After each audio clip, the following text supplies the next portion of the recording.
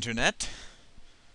Um, I'm about to start a series of videos about Orbiter and what you can do and how to do things and various other things and how to operate the awesome various displays of Orbiter, etc., etc., etc. And this is just an introductory video to it because I am having issues with my recording software and so various things have gone wrong. I have tried to make this video 80 billion times. Every time something has failed in it or something went wrong or something to that effect. And so I'm just running the demo video because I'm sick of getting into orbit and then finding out that the video has failed. So my first video will be this and the others might follow if this actually works. Um, so yeah, a little bit about Orbiter. Orbiter is a freeware software you can find online, and there will be a um, a link at the very end or a URL at the very end, I guess, and probably in the comments of this or the description of this video.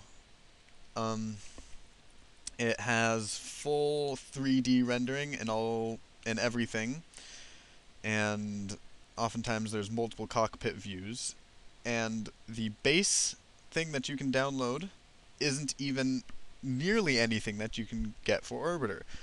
It is open to third-party add-ons, and there is a great site to go to. It's called Orbit Hangar, but again, there will be a link in the video for it. Um, let's see. Oh yeah, there are real. It's a physics simulator. If you couldn't tell, they apparently don't like it being called a game. And there's real ships like the Space Shuttle Atlantis here that you can use to get into space. And there's fake ones like the Delta Glider that you saw at the very, very beginning.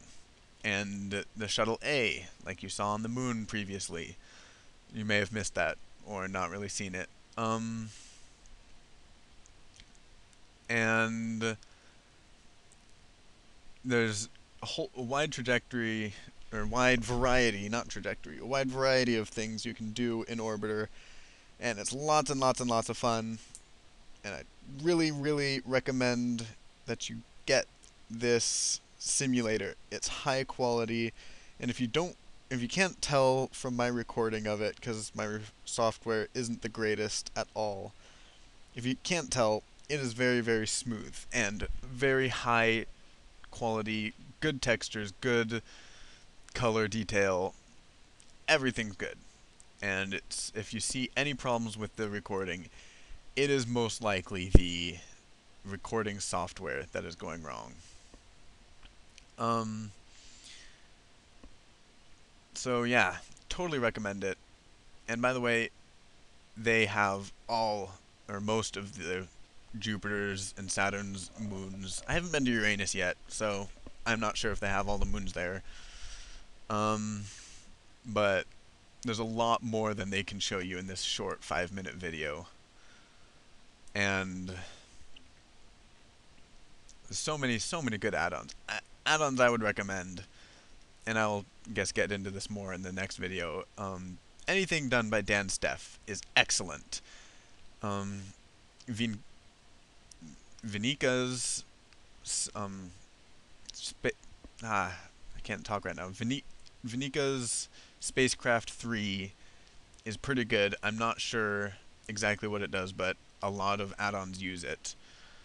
And the Ravenstar and Vanguard add-ons are definitely, definitely worth it, and I will be showing more of that later. Um, so yeah, I guess I'll just wait for this to finish playing. See you guys later.